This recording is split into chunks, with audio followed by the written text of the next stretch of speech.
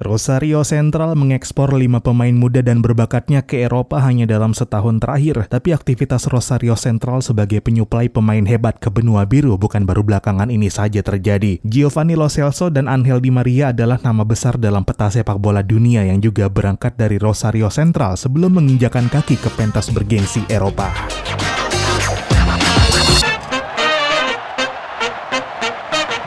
Halo dan selamat datang kembali di Papa Bola. Ya, hanya dalam setahun Rosario Central mengorbitkan lima pemain muda ke sejumlah klub top Eropa. Agustus tahun lalu, Rosario Central mengirim bek kiri berusia 24 tahun Lautaro Blanco ke La Liga untuk bermain bersama LC dengan fee transfer 1,96 juta euro. Blanco kembali dipinjamkan ke Rosario sampai Desember dan baru pada 2023 ini bermain untuk LC. Kepindahan Blanco ke La Liga diikuti kepergian sejumlah pemain muda berbakat lainnya ke benua biru. Facundo Buonanotte dibeli klub Premier League Brighton and Hove Albion, demikian pula Matteo Tanlongo yang bergabung ke Sporting Lisbon. Musim panas ini Rosario Central kembali menjual dua pemain muda berbakatnya ke klub benua biru. Gino Infantino bergabung ke klub Serie A Italia Fiorentina dan kini striker muda andalannya Alejo Felix sepakat bergabung ke Tottenham Hotspur dengan durasi kontrak 5 tahun. Spurs mengaktifkan klausul pelepasannya di Rosario Central sebesar 15 juta euro. Felix menjadi sensasi sejak musim lalu dan musim ini makin memperlihatkan kebintangannya sebagai striker utama Rosario Central di usia yang baru 19 tahun. Mencetak 11 gol dalam 23 pertandingan di Liga Argentina dan menempati jajaran atas top skor kompetisi domestik sepak bola negeri Tenggo tersebut. Mulai musim panas ini, Magis Felix bakal berlanjut ke Eropa dengan Premier League Inggris sebagai panggung terbarunya. Felix pun menjadi bagian dari tradisi panjang Rosario Central yang menghasilkan pemain-pemain berbakat untuk kemudian berkarir di klub-klub besar dunia. Angel Di Maria adalah nama besar yang juga jebolan Rosario Central. Di Maria bergabung ke Rosario Central ketika dia baru berusia 4 tahun dan menghabiskan sekitar 15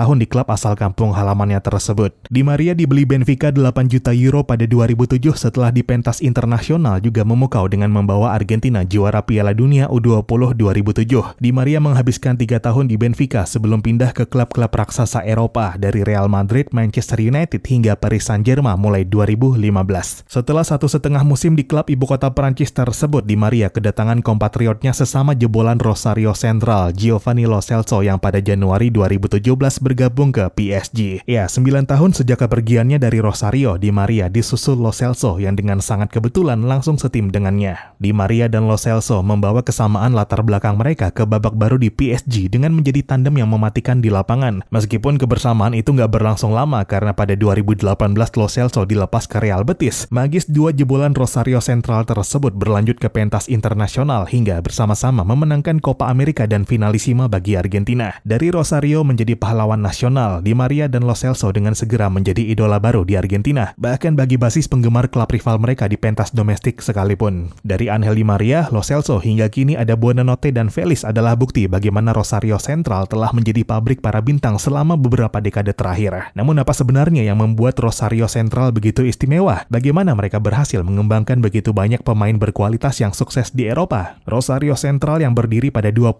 Desember 1889 adalah klub pemenang empat kali Liga Argentina dengan tradisi panjang dalam mengembangkan pemain muda berbakat. Beberapa faktor membuat akademi mereka cukup konsisten melahirkan bakat istimewa. Yang pertama tentu saja metode kepelatihan yang berkualitas. Rosario Central memiliki tim pelatih pengalaman berpengalaman dan berkualitas yang membina pemain sejak usia dini, mengajari mereka aspek-aspek teknis, taktis, fisik, dan mental. Para pelatih juga menanamkan rasa identitas dan kebanggaan terhadap sejarah dan nilai-nilai klub. Yang kedua adalah lingkungan yang kompetitif. Rosario Central berkompetisi di divisi Primera Argentina, salah satu liga paling menantang dan bergengsi di Amerika Selatan. Para pemain akademi memiliki kesempatan untuk berlatih dan bermain dengan tim utama, menghadapi lawan-lawan berkualitas dan belajar dari para pemain senior. Klub juga berpartisipasi dalam turnamen-turnamen kontinental seperti Copa Sud Americana yang membuat para pemain mengenal berbagai gaya dan budaya sepak bola. Namun di atas dua faktor tersebut ada poin mendasar yang sangat ditentukan kuatnya jaringan pemandu bakat mereka. Rosario Central memiliki jaringan pemandu bakat yang luas dan efektif yang mencakup seluruh negeri, terutama Provinsi Santa Fe, tempat klub ini bermarkas. Para pemandu bakat itulah yang bertanggung jawab menemukan pemain potensial dan berbakat. Didukung pula langkah klub membangun kemitraan yang kuat dengan klub dan sekolah lokal, di mana mereka menawarkan beasiswa dan dukungan kepada para pemain yang menjadi menjanjikan. Bakat-bakat yang terjaring kemudian mendapat penguatan lagi dalam hal pengembangan kepribadian. Rosario Central bukan hanya peduli dengan perkembangan teknis para pemain akademinya dalam hal sepak bola, melainkan juga memberi perhatian khusus terhadap perkembangan kepribadian mereka. Rosario Central dikenal sangat concern dalam memberikan pemain akademinya bukan cuma pendidikan tapi juga kesehatan, nutrisi, hingga dukungan psikologis. Klub juga terbuka bagi pemainnya untuk mengejar hobi di luar sepak bola seperti musik dan seni, dengan maksud membentuk individu-individu yang memiliki kemampuan menyeluruh dengan mentalitas yang kuat. Angel Di Maria dan sejumlah nama tadi adalah buah dari keseriusan Rosario Central mencetak pemain hebat. Nama-nama tadi pun bukan cuma menjadi kebanggaan Rosario, tapi juga lingkungan sepak bola Argentina secara lebih luas.